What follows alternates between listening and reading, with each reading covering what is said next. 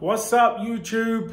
Um, just really quickly, uh, wanted to vlog about which brokerage I work for and why I work for this brokerage and how I even ended up selecting to work here. So I am with Liv Sotheby's International Realty and I got recruited to come here by the VP of the company and one of the managing brokers.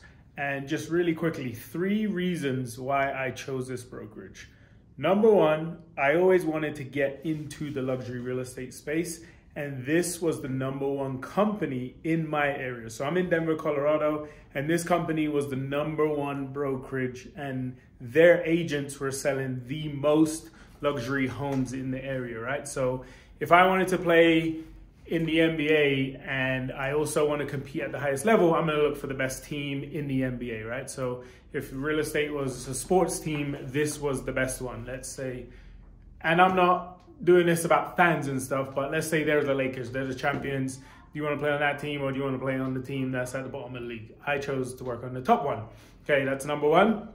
Number two, culture and energy, right? So the culture here is that you have the top agents, they share their ideas, you get to see a lot of product in the luxury space. So now you get to be around people who are in that environment and everyone is kind of on that same mindset and wavelength about how they're gonna do things.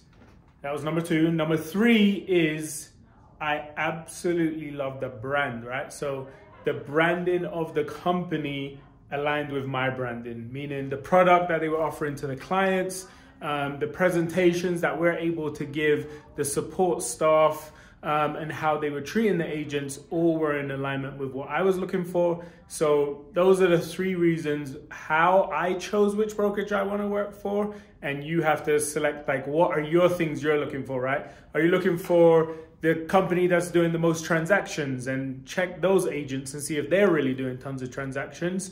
Or are you looking for the company that sells the most condos because you're a condo agent?